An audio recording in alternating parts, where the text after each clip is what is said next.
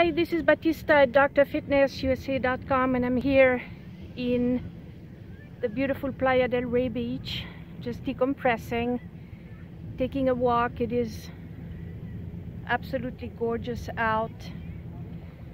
And I'm also reflecting on our topic of the week, which is letting go of the old to make room for new. And I was thinking about how does that relate to exercise?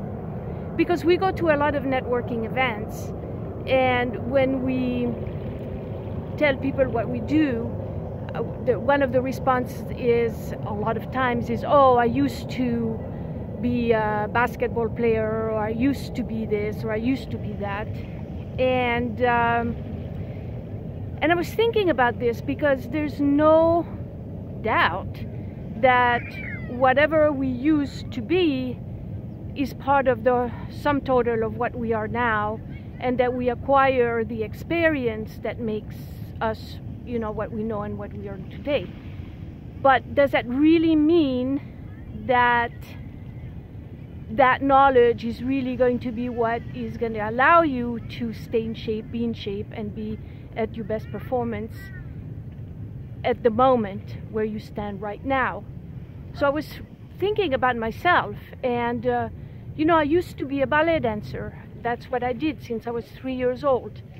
I, was brought up with uh, parents that were in the dance profession. My mother was a prima ballerina, my father was a mime.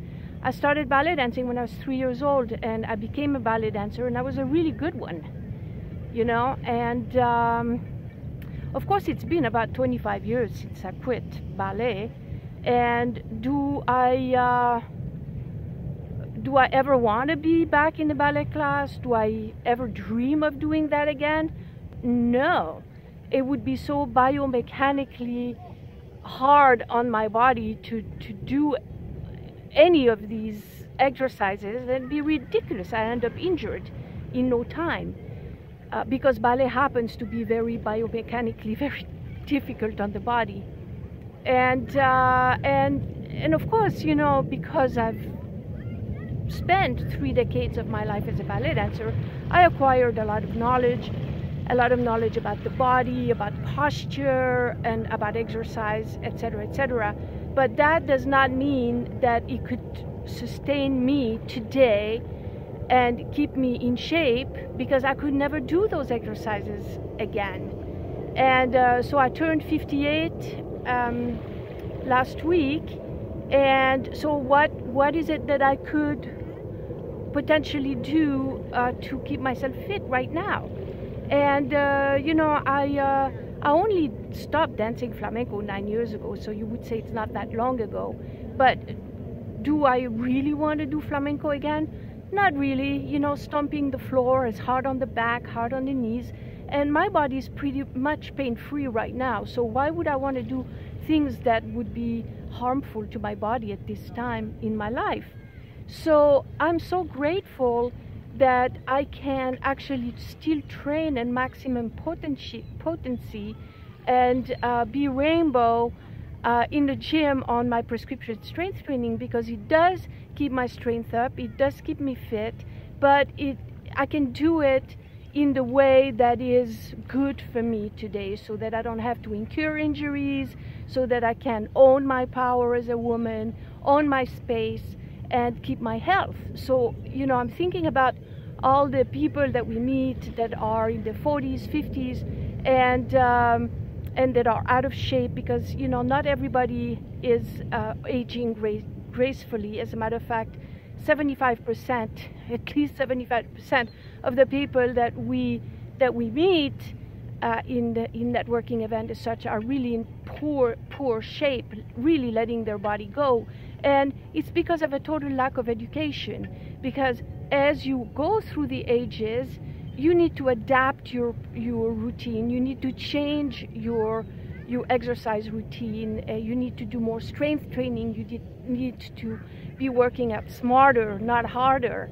So um, that's you know my little uh, take away from this uh, time of the year where we really try to let go of old stuff to make room for new stuff because this is new year.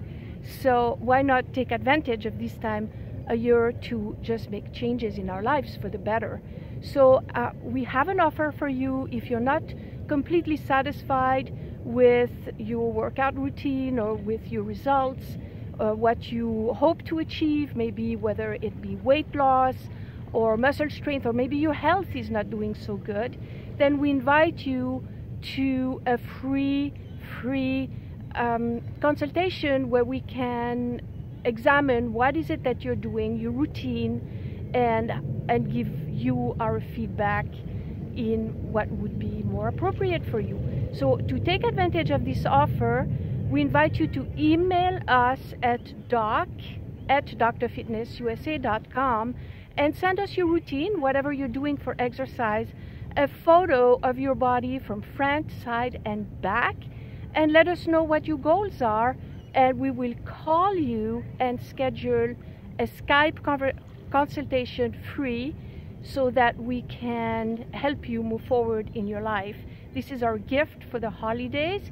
You need to take advantage of this offer by December 31st, 2017. And happy holidays again. This is Batista at drfitnessusa.com. I also want to invite you to join our newsletter, subscribe. Not only you will receive our free report, but you will also receive notices when we have gifts and uh, offers that we give out. Like uh, we've been right now, we've been giving stuff away since uh, the beginning of Hanukkah, which was, um, you know, two weeks ago. So we've We've given lots of goodies, lots of free offers, lots of gifts. And so if you're not on our newsletter, on our mailing list, then you're missing out big time. So go to drfitnessusa.com and, uh, and sign up for our newsletter, okay? So take advantage of our offer. Look how beautiful it is here. So take advantage of our offer. Um, email us at doc at drfitnessusa.com with your routine, a photo of yourself front, side and back and we will contact you to schedule a free consultation so we can discuss what your goals are and what we can do to help you achieve them in 2018.